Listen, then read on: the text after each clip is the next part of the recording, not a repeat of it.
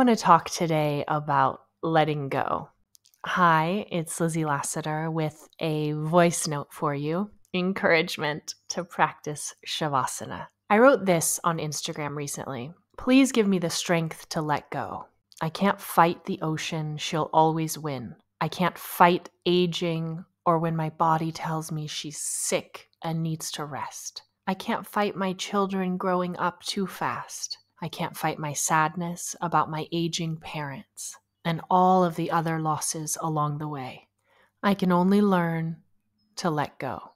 Letting go is the central lesson of my yoga practice. I don't know about you, but it feels like learning to let go is what I'm here to do. A few words about Shavasana now to get you in the mood, to get you excited to lie down and do nothing. Shavasana is the best way I know to practice letting go, sinking down into the weight of the mat, floating between weightlessness and heaviness, moving into energy and away from form, moving into presence and away from thought, moving into an emptiness that is full. That's oh, that's it. Moving into an emptiness that is full.